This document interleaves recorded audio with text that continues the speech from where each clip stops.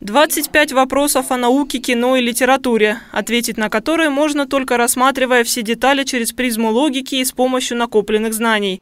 Турнир «Что, где, когда», в котором регулярно участвуют армавирские школьники, собрал 27 ноября эрудитов разных национальностей. 27 ноября отдел по делам молодежи в стенах детской библиотеки имени Зои Космодемьянской впервые проводят э, турнир по интеллектуальной игре «Что, где, когда» среди национальных общин города. Сегодня мы приветствуем шесть команд, которые представляют армянскую, татарскую, русскую, казачью и адыгейские национальные образования нашего города. В тот день игроки сделали то, чего ни разу не было в городской практике. Они поделились на команды по национальному признаку.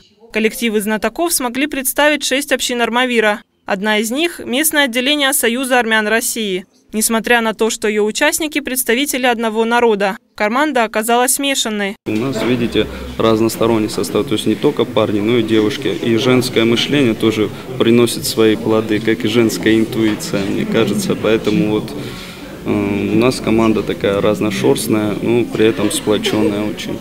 И мы вот э, мы настроены на победу. Вопросы необычные, сложные. Я вот первый раз участвую. Для меня вообще это ну, необычно, но очень интересно. Сплоченность и разносторонность команды помогла Союзу армян России выиграть. Второе место заняла сборная Адыга Хасы, а тройку лидеров встречи завершил татарский Батыр. Инна Лепеткина, Максим Котов, служба информации телеканала РНТВ «Армавир».